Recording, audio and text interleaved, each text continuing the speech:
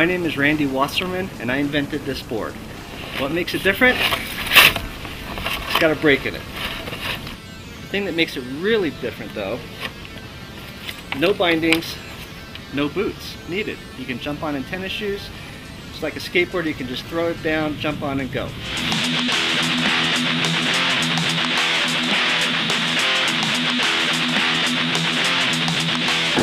For it? Alright, so when you release, it automatically kicks out? Yep. So it doesn't drag in the snow while you're riding.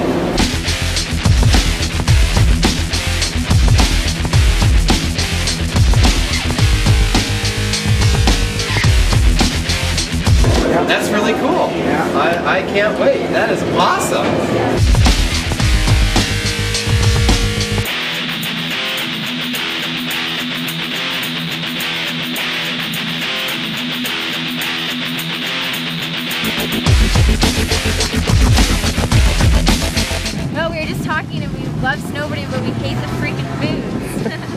Was good. I get how you like step on the back thing and it does slow down kind of hard for you a little.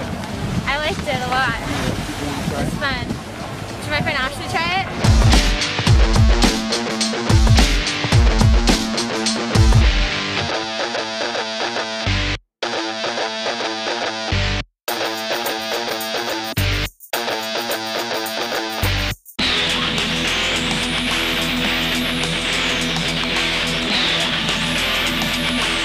I burned everything I've got.